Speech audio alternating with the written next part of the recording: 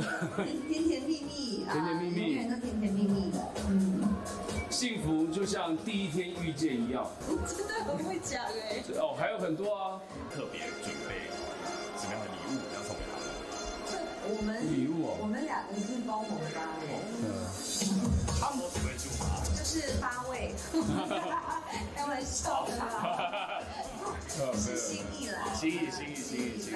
呃，刚才有什么哪个媒体朋友问我哦，你吧，问我要送他们什么话，什么百年好合啊，什么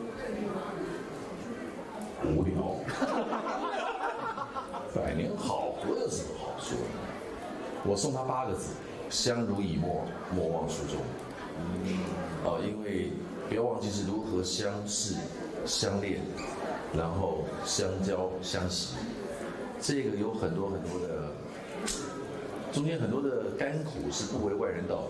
我想很多人有谈过恋爱的，甚至现在有家室的都晓得，要维系一段的感情，要组织一个家庭有多么的，有多么需要耗，非常耗费心力啊，真的是个耗费心力的工程。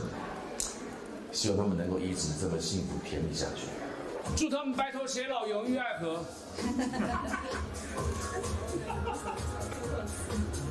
白头偕老，永浴爱河，甜甜蜜蜜，甜甜蜜蜜永远都甜甜蜜蜜的。嗯，幸福就像第一天遇见一样。真的很会讲哎。哦，还有很多啊。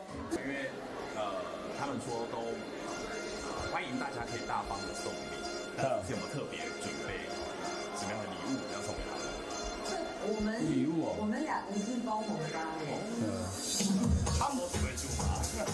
就是八位，开玩笑的啦，是心意啦，心意心意心意心意。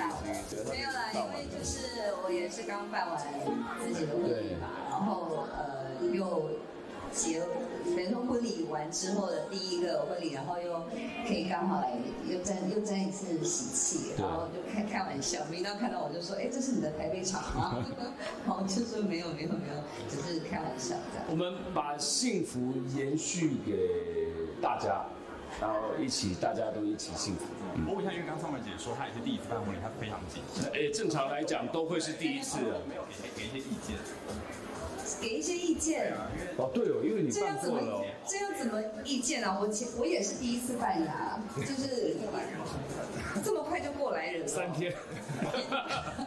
也就是说酒喝慢一点，就是要 hold 到。对，三姐酒量很好，那就我们喝慢一点吧。